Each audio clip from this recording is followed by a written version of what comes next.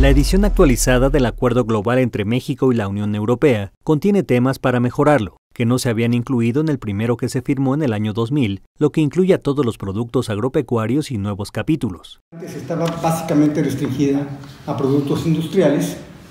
ahora la amplía básicamente a todos los productos agropecuarios e incorpora los nuevos capítulos que ya son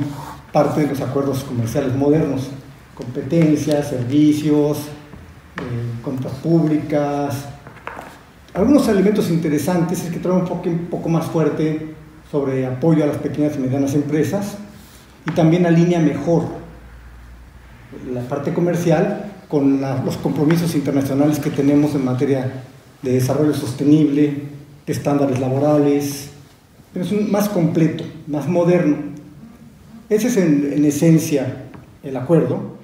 Oficiales y miembros del Parlamento Europeo aseguran que los nuevos temas incluidos en la modernización del acuerdo global lo han robustecido al grado que será uno de los más avanzados de su tipo que se hayan firmado. Bueno, yo creo que el acuerdo que ha alcanzado la Unión Europea y México es un gran acuerdo donde se consolidan importantes aspectos, los derechos sociales, la referencia, por ejemplo, al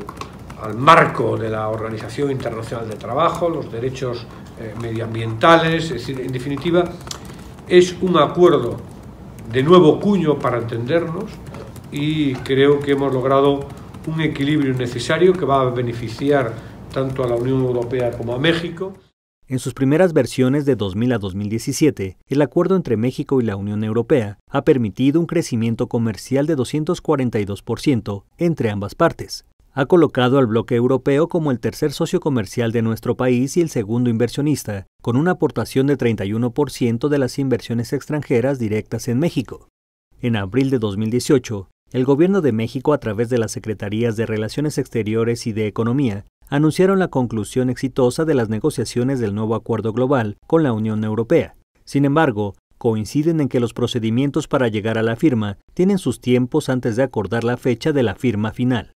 con información e imágenes de Olga Ojeda, enviada Notimex.